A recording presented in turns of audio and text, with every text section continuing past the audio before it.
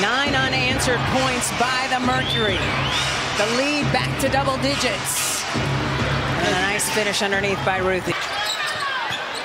30 seconds to go in this one. Birch in trouble. Ruthy Hebard's not going to miss from there. There's Evans with it inside, and a nice move there. Strong post up by Ruthy Hebard. Well, and that time they cleared that defensive board and allowed them to get out and score quickly. Hebard with a strong right-handed move. The Oregon Duck says, and one. And Mabrey with the two fouls could not go in there and try to disrupt Sami in the fast break situation. This is where Seattle tends to get momentum is Yep. after a, a transition bucket. Hebard the runner, and what a game. Jewell has it. Attacks, loses handle of the basketball, turnover on Seattle. That's their 18th of the game. Evans, three ball. No, Jewell with the board. Come up empty uh, in terms of points. Smith's in trouble. Finds Ruthy Hebard, who has checked in. She gets her first points off the bench. Alanna Smith was scrambling to get back to her. She took advantage of her. Here's Hebard. This is an important time here for both of these teams. We had a nice little run at the end of the first quarter, but it's been the Storm responding with a run in the last two minutes of the second quarter. Ruthy Hebard has been something off the bench. I tell you what,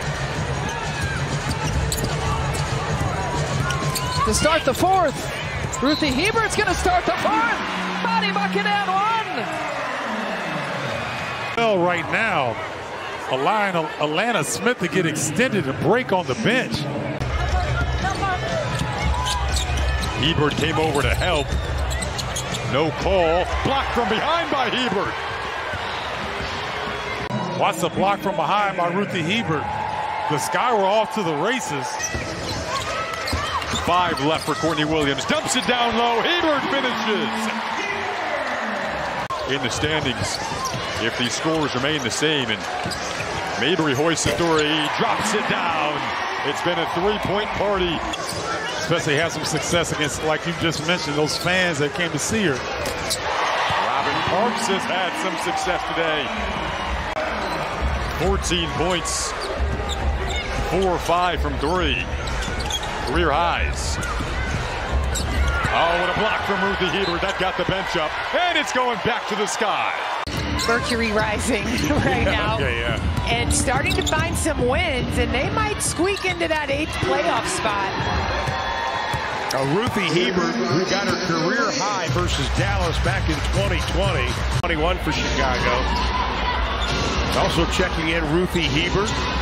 From the outside, that is Parks. Hebard, happy birthday, got it. Ruthy has brought her son to the game. But that win and the way they did it decisively had to give them the confidence. And I was here Sunday as Williams hits that shot. Vatansever told us before the game, you know, they might have been a little tired. Those two wins against Dallas. He played very physical. Dolson with the handoff to Laney. Now inside to Stewie. Five to shoot. Stewie, great defense there by Hebard. Tenacious D there as Evans gets around. Jonquel Jones gets it to Hebard. And Hebard gets the friendly roll as the shot clock expires. Seen this all night long. Chicago Sky cut into the lead. And then the Liberty extend as Hebard gets that one to go. Copper finds her. Because I love Scott uh, Scott Kahn. You, you only watch shows that you love, you love the characters for. Ruthy Hebard steps in, steals, and lays it up and in. Meme. Speaking of Dwyane Wade, we'll talk about him a little later. Williams couldn't get that to go. Hebard trying to beat the clock and does. And they're going to count it. Great recognition and pass by Jewell Loyd. She's always going to attract a lot of attention. That time, beautiful feed.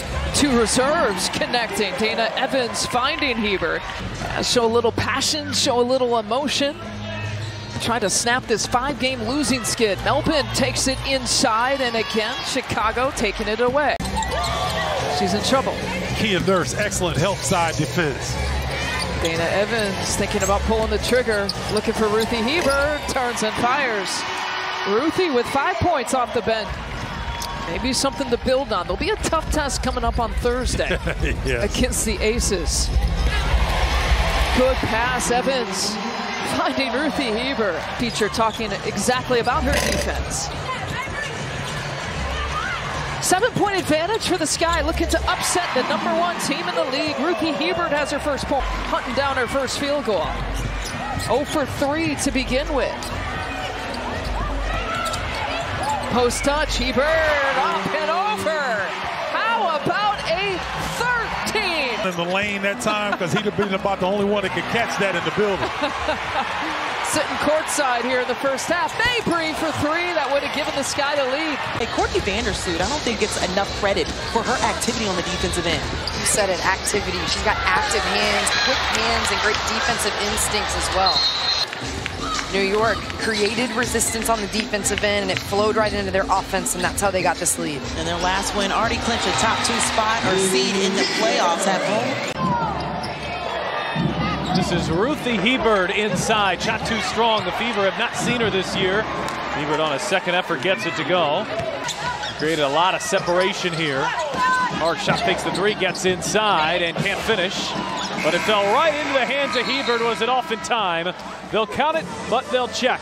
And a 4 of 13 from the three-point line. This has been the league's best three-point shooting team They're over their last eight games. They've shot it so much better from the three-point line.